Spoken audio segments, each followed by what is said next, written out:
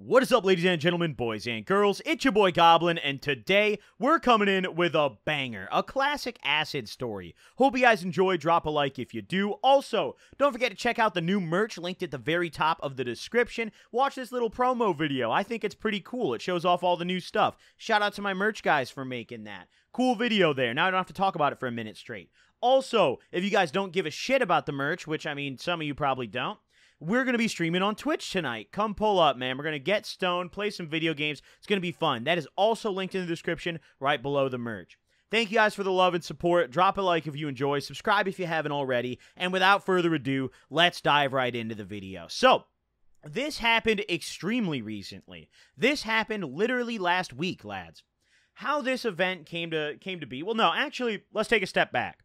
To give some background detail here, I haven't taken acid prior to this in about a year. I haven't tripped since summer of 2020, right? So I was a little rusty. It had been a while.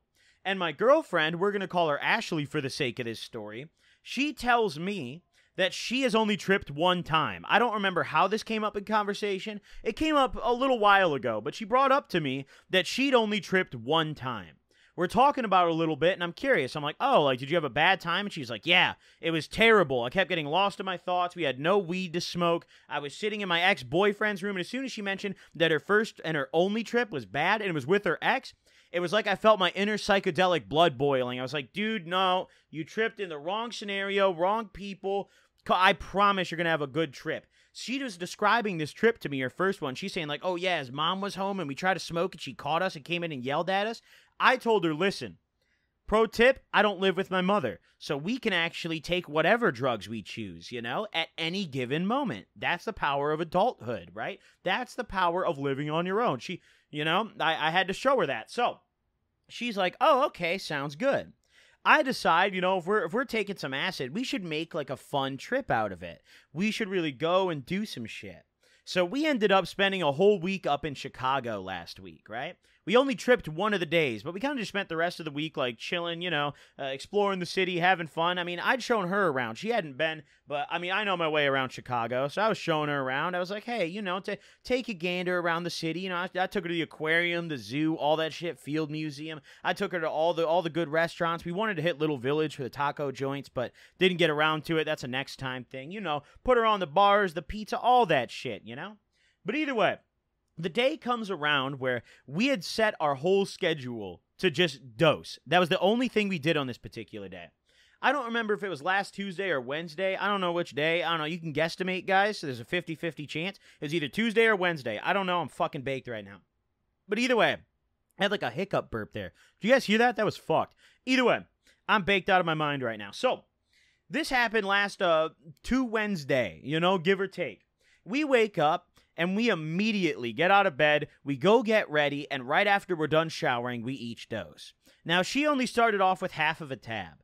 I ate a whole one because I was like, bet, dude, I'm excited. I haven't tripped in a little while. And these weren't like super strong, crazy tabs. They were, at least what they were supposed to be was 110 UG. So a little on the lower side, actually, you know, a little on the lighter side for tabs. But I did that on purpose because she'd only taken it once. So I figured, you know, something lighter would be good. And then if I want to trip harder, I could just eat more tabs.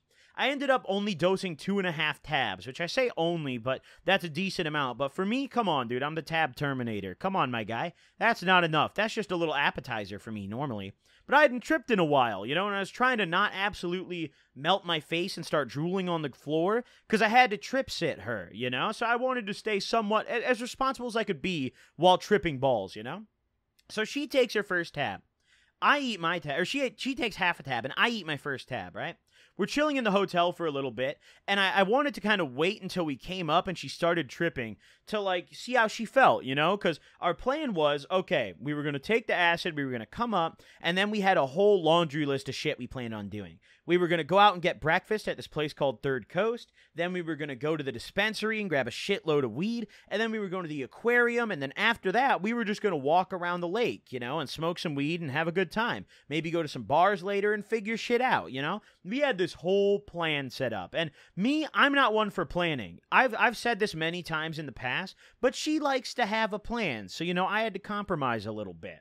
So we chill in the hotel for about 45 to an hour, and I'm not really tripping that hard. Like, I feel the come up for sure, but she didn't really feel shit. So she asked me if I want to take more. I was like, hey, this is your first, like, for real, for real trip, like stepping out in public while you're tripping, but be my guest if you want to eat some more. So she ate another half of a tab, right? Now we're chilling. She's got a tab down the hatch, a full one now, and I'm like, okay, well, if she just upped the ante, I gotta up the ante too. So I eat another tab. We're now chilling. I'm two tabs deep. She's a tab deep, and we wait another like 30 minutes. And at this point, she's definitely tripping, and I'm definitely tripping. So we're ready to rumble. Right before we leave, I call the Uber and I decide to throw another half tab down the hatch. And I take the rest of the tabs that we had and put them in her purse, right? We had maybe I brought quite a bit up to Chicago with me. I brought like 15 tabs with me. I, I don't know why I brought so much. I just figured maybe if I meet up with some friends who want them, but no one wanted them, so I just I I still have acid. But either way, back on topic. So we're chilling, you know, we'd just taken our doses. I did my final little redose there, and we go getting our Uber. Holy shit, was this Uber perfectly timed. Just just the finest of Uber rides, okay? Let me let me describe this guy. Picture me and Ashley standing outside of our hotel waiting for the Uber, and we're just coming up, right? We got the giggles, we're laughing about random shit. You know, Ashley's looking all around at all the all the trees and the you know the sky and all that shit, all the tall buildings around us. I'm sitting there just feeling happy because I've got that just just oh it's so hard to describe that come up feeling especially after you haven't tripped in a while but it's like I, it's like i just dapped up an old friend again like i just feel that like warmth i'm like yo I'm at home right now, dude. This is where I belong. Tripping balls, getting lost. This is what I like to do, you know? So the Uber pulls up. Oh my God. It is a silver Hyundai Elantra, which I shit you not. We could hear the bass in the speakers bumping as he pulled up into the hotel little like driveway thing. He pulls up, and this guy has a black dragon decal that is all over his hood. It is huge. It's a big dragon, dude. It's it's one of the funniest things I've ever seen. So I look at this, and I'm just like, oh my god, dude, this is about to be so fun. So Ashley and I, we get in the back seat of this Uber. We get in, and this guy immediately looks back, and he says to us, he's like, "You guys like music?" And I, I just answer for her. I'm like, yeah, fuck yeah, dude. We fucking dig music, bro. Absolutely. At this point, I'm tripping. I don't care what this guy puts on. I'm in for a good time, right? Holy fucking shit. This was a.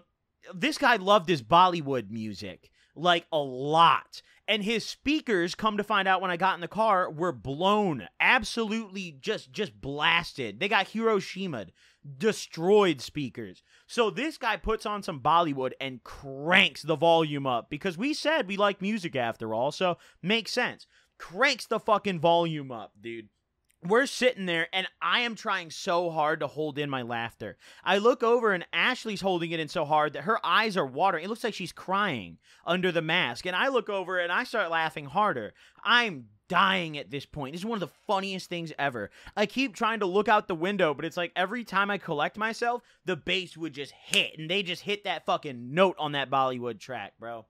I guess finally the guy kind of caught on that we we were kind of chuckling it up because he changed the music entirely to just like the like whatever like a different radio station or something. And this one was just playing like Olivia Rodrigo or some shit. But even then it was hilarious because this guy's speakers were so blown that some of the vocals would blow the speakers. Like terrible, terrible speaker quality. It was hilarious. But this guy's whipping, you know? So the breakfast joint we're Ubering to is like a 15 minute Uber. We get there and we go inside. It's a place called Third Coast Cafe. Listen, this is a place that my family showed me when I was younger, and I remembered it, and I knew I had to take her there because it's a really low key spot. It's in the lobby of an apartment building, and there's almost no signs outside. Like walking past the building, you would not know the restaurant is there. You have to go inside to then see the restaurant entrance and be like, oh, okay, it's in this apartment building. It's also not a very big apartment building, it's like pretty small, you know? So we go in there, and we're chilling. And the reason I love this place so much is because they serve these these alcoholic breakfast martinis called cappuccinis. It is not an espresso martini, let me make that clear. It is different. Espresso martinis are usually pretty shit. These things tasted like chocolate milk that was slightly spiked. Fantastic, but they had caffeine in them too. A perfect way to start our day. So we're sitting in this cafe, and I'm I'm Oh, I'm having a blast, dude. But let me tell you, I started peaking about halfway through our, our arrangement here. I remember we're we're sitting at this little table where it's just got two chairs, right? So she's facing the wall behind me, I'm facing the wall behind her, right? And the decor in this place is just not made for people tripping. On the wall that she's facing, there's a picture of like who the fuck was it, dude? It, it was like Kurt Cobain, I think, and his eyes were just wide as hell. And she's like, I remember we're sitting there chatting, and she's like, I'm, I'm really getting uncomfortable with this picture. And I turn around and I stare into the soul of Kurt Cobain, and I was shitting my pants. I couldn't blame her. I was like, yo, like, that's kind of fucked. You know, if you want to switch seats, like, we can. I mean, that's fine. She's like, no, no, I'll just, I'll just look away from Kurt, you know? So I'm sitting there and I'm looking at the pictures on the wall, and I didn't realize how hard I was actually coming up and, and peaking at this point until I really focused on the wall. Because at the, you know, for the majority of our time in the restaurant, I was just chilling, I was enjoying my drinks, you know, kind of talking to Ashley and just just kind of enjoying the table. I wasn't really looking around too much, and I was looking out the window that was to my left. So when I finally looked at the wall, which had this god awful checker pattern with like 18 framed pictures on it, it felt like I was having a brain aneurysm. Everything was moving, meshing together. The wall was coming to life. It looked like the pictures were like popping off of the wall, like they were growing longer, if that even makes sense. I was having an incredible visual come up, or visual peak, pardon me. The visuals on these tabs were fantastic. So much better than I remember the visuals that I had in last summer's trip being. I will like this was one of my favorite trips I've ever had, honestly. I it was such a clean trip. It was so good. The visuals were so fucking good. But I just remember I'm sitting there and I'm staring at this wall and I don't stop. And I remember Ashley kind of taps my hand. She's like, "You good?" And I'm like, "Yeah." Just kind of tripping balls here. You know, like I think that extra tab and a half I took is definitely slapping right now. So we're sitting there, and after a couple cappuccinis each, they come over and ask if we want any food. We're not very hungry, but we feel like we're obligated to order something to split so we don't look like alcoholics coming in to order nothing but cappuccinis at 10 a.m., you know? So we're looking at the menu and they have this meatball appetizer, and it is just a single meatball, just a big old meatball. So we're like, yo, get the meat, dude. Get the schmeat. Get the meatball, dude right? And we'll split a singular meatball and drink like three, four cappuccinis each. That's our breakfast, okay? So that's exactly what we did. We order our individual meatball. We cut that bad boy in half and went to town. The sauce was great, dude. Even though we weren't hungry, it was nice, right? So we down our meatball, which, hey, a sizable fucking ball, I'll tell you what. A nice hunk of meat, if I will, right? So we down that we chill out and drink a couple more cappuccinis, and I'm feeling fantastic. But if you guys have tripped before, you know that when you're sitting still in a room, you don't really realize how hard you're tripping because you kind of have time to process your surroundings, you know? It might get overwhelming when you first enter a new room and you start coming up or peaking or whatever, but once you sit down and kind of get accustomed to it, you're like, okay, here's where I am, here's what's around me, I'm good. When you step outside is when you truly realize how hard you're tripping. And after we paid our bill, and got up and went outside to wait for our next Uber, I realized, wow, I'm looking up at all the tall buildings around me. I'm looking at all the cars and the trees and the people, and there is nothing about any of it that looks even remotely normal, dude, or even recognizable. The visuals were so strong. I was looking up, and the buildings looked like they were trees swaying in the wind, every single one. It was so cool. The sky was so colorful and there was literally no clouds. It was such a beautiful day. Like not a single cloud in the sky. We picked the best day to trip. So I'm sitting there and I'm looking up and I'm just amazed. And I'm telling Ashley, I'm like, yo, like, look up, look at the buildings. Like, don't they look cool? And she, I guess, didn't really get the same visual effect. She was like, no, they're they're not really swaying that much for me. And I was like, oh, you haven't taken enough yet. Come on now. Come on. Hey, let's get a little more down the hatch. And she's like, You think? Me being the scumbag I am, I'm like, Yeah, you should you should take like another half when we get to the aquarium, right? So our next stop is the dispensary. Now we went to the dispensary and I bought a shitload of weed. I bought an ounce. I bought it by the eighth because I was tripping. And I also went to a rec only dispensary, which means that they wouldn't accept my medical card and I still had to pay tax anyways. I'm not going to say the number because it's painful and traumatizing, but let's just say that is by far the most expensive ounce I've ever purchased, all right? We're going to leave it at that by a, such a long shot, okay? But we're just going to leave it there. So, mm, hydration break, bro. Hold on. Grab your water and appreciate that shit right now. Nice. Thanks, water. Mm. All right, back on topic here. So, I max out my dispo limit. I grabbed a fucking ounce of weed. I even grabbed wax. I grabbed like four or five grams of, of concentrate too. Some Jack the Ripper diamonds. I had everything. And in Ashley's purse, I had this little electronic nectar collector. And I also had some wraps. So our plan was like, okay, we're going to go to the aquarium. We're going to take some dabs outside, pregame it. You can go redose, you know, if you want to. And then we can go hit the aquarium. It'll be all fine and dandy. So we get in and out of the dispensary relatively quickly, catch our Uber over to Shedd Aquarium, which, by the way, if you guys have never been to Chicago, one of the coolest aquariums in the fucking world, dude.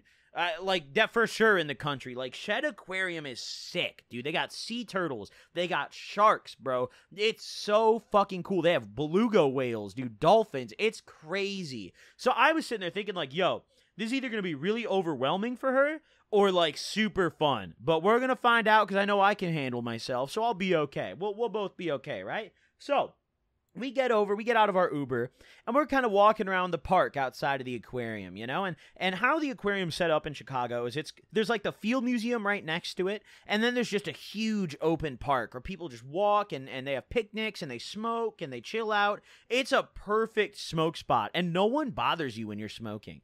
Ever.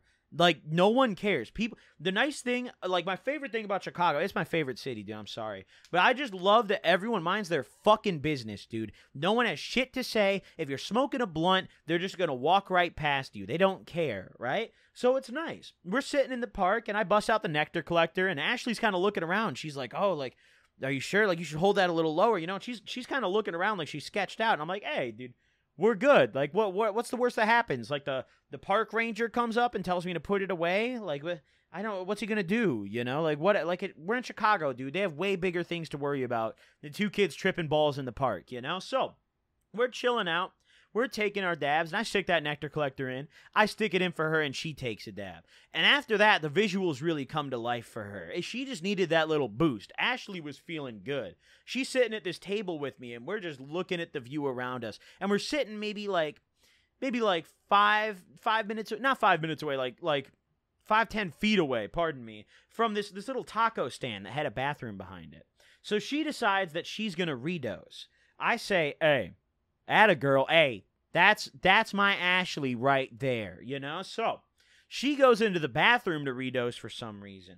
And she This is actually so funny. So at the time we didn't realize that she accidentally ate more acid. But she goes in the bathroom and the baggie that I had my last uh, like I had a 10 strip sealed in this little mylar, right? Vac sealed. She ripped open the mylar with her teeth in the bathroom because she couldn't get it. And we realized when we got back to the hotel later and pulled the acid out that she accidentally ate like another three quarters of a tab. And then on top of that, she pulled off another tab, like a half tab, while in the bathroom and ate that too. So she was fucking lit, dude. I, I did not realize that she did that and she didn't either. Like she didn't compute that she actually accidentally ate a tab, but she did. So I'm sitting there and I'm like, "Holy fuck, dude!" At the time, I thought she just went in and took another half, so I wasn't like that yet. So she comes back out. She shows me the bag. She's like, "Oh, I couldn't. I was trying to rip it with my teeth, but I was having a hard time." And she shows me, and I'm like, "Oh, you know, I, I hope you didn't get any." And she's like, "No, I, I think I'm good. I didn't get any. You know, I, I just took my half." So after that, we're ready to go into the aquarium. We put all the weed, all the wax, and the nectar collector into her purse, and we walk up to the aquarium. We go up to the door of the aquarium. They got the security. We already paid in advance, mind you, for our tickets, non refundable. So we get in there. She puts her purse on the table that the security guy is at. He's tapping the outside of her purse with his little nightstick thing, and he's like, "Oh, you got any guns? You got any uh, drugs? You got any pepper spray or knives or anything that'll poke me?" She says no to all of it. The guy looks at her and says, "Do you have any marijuana?" She looks at him and says, Yes. Like so eagerly, like she's been waiting all day to snitch. She said, Yes, absolutely, I have cannabis in here. The guy looks at her and pauses. You could tell, like, I'm looking at the guy and then I look at her and I'm just sitting here and I'm like, Oh my fucking God, bro. Like, like, did she really just do that? And the guy, he looks at her and he's like, Are you serious? And she's like, Yeah, yup. And after, like, he opens the bag after she said that, right? And of course, there's we we literally have an ounce packaged up by the eighth in this purse and five separate grams of wax. He didn't have to do any poking to find it, right? So he, he opens the bag and he looks and he just kind of smirks and he's like, You can't bring this in here. You know that, right? And she goes, But it's sealed. and, and he's like, he's like, yeah, well, just go put this in your car or something. The problem is, by the time we made it to the dispensary, it was er, by the time we made it to the aquarium, pardon me, it was like pretty close to their closing time. We were the last check-in slot, right? For the day. So we're sitting there and we're like, yo, if we leave, we're not going to make it back in time to get in because they only have like 30 minute check in windows where you can get there. And then after that, they won't let you in. They don't care, right? So I'm sitting there and I'm like, bro, they close in like an hour and 45 and we just got kicked out with an ounce of weed and we're not really in like reasonable walking distance of our hotel to get back in time, you know? So we're sitting there and we're trying to figure out what to do. And we decide, you know what? Fuck it. And I'm sitting there and I ask her, I'm like, why did you tell the guy you had weed? And she goes, I thought he was joking. I, thought, I said to her, I said, why in the fuck would homeboy joke? He's dead serious about everything else. He, he, just throws that little kicker in. He's like, you got any weed? Yeah, like, like come on now, you know. So we we laugh about it a little bit, and we decide, fuck it, let's just go walk along the water, sit by the water, and smoke up. So that's exactly what we do. I think I neglected to mention this earlier, but I had pre rolled a couple blunts for our day already while I was still back in the hotel that morning. So we were walking by the water and we busted out our blunts, sat right up by the water and sparked up. There's joggers going all around us and there's people on bikes, there's there's runners, there's there's families and shit. No one gives a damn, dude. We're smoking up, having a blast, right? We're having a hoot and a holler. So we we smoked this first blunt, and I was feeling fantastic. Watching the the shine and the ripples of the water, and all the boats moving around, and how colorful they all were, and just the just the sky and the sun reflecting off the water. It was so cool. And we could see Navy Pier from where we were sitting. It was honestly, it was such a dope view, right? So we're sitting there, and it listen, it is beautiful, boys. I we sat there for a good like two and a half hours. And after a while, we decided to get up and walk a little more with our next blunt. So we have another blunt rolled up, ready to rumble, and we walk a little further down the lake. And we end up walking so far that we get into like the like the storage yard for the planetarium. I don't even know how we made it back there because it was all like gated off. But I remember we were just standing there looking around at some point after walking for what was probably a good 40 minutes or so. And we're looking around and we're like, yo, there's no one here and it looks like we shouldn't be here. Like like this shit is closed off. How did we get in? You know, so we're looking around and finally we make our way back out. And after we got lost in the in the like fucking shipping yard or whatever it was, we decide maybe we should just go back to the hotel. You know, we've smoked our second blunt. We should just go back to the hotel and regroup and figure out what we're going to do next, you know? Cuz we didn't really know yet. Like we had no fucking clue. We were sitting there trying to figure out what to do, but I mean, it, when when our aquarium plans got smashed, you know, it kind of threw a wrench in things. So we ended up going back to the hotel, right? We Uber back to the hotel, and all the other Ubers were nowhere near as good as our first one. I remember I, I was having such a good time in that first Hyundai Elantra with the Dragon decal. I tipped that guy a hundred bucks. I fucking loved him, dude. He was fantastic, best driver ever. So we get in the Uber back to our hotel. We make it back, and we've got all this weed. And I remember we go up to our hotel room and there's this little window that's by the there's like a desk in the hotel room that's right up to the window. And the window had this little crack that opened and we weren't like super high up. We were high enough to see the water and see over some buildings but we were low enough where i could yell down at people and they would react. So i opened this window and i was just fucking with people for like 30 minutes. Like people would be like walking up to their cars and be like hey that's my car man. And you see them like looking around or like i don't know what it was Every single dog that walked down our street looked like Obama's dog. Maybe it's because we were in Streeterville and they all like the same kind of fucking golden doodle, whatever, yappy thing. But holy shit, every dog in Chicago looked like Obama's dog that day. And it threw me the fuck off. So I started yelling down. I was like, yo, you got to dye your dog, man. You got to you got to change that dog. Give him a haircut, you know. And there was this one lady who was walking a dog who got pissed, dude. She she was stopped her in dead in her tracks and started scouting the block out for who yelled that, dude. She stopped and she started looking around. She looked up at one point, but the windows were reflective, so she couldn't see in anyways.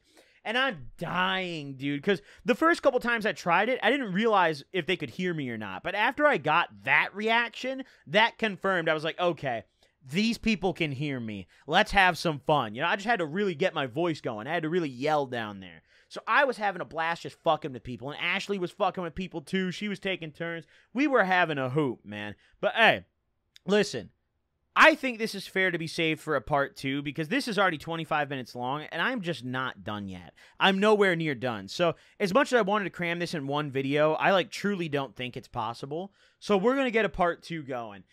Drop a like if you guys enjoyed this video. Don't forget to check out the merch and my Twitch stream. Thank you all for watching. I'll see you guys next time. Peace out, gamers.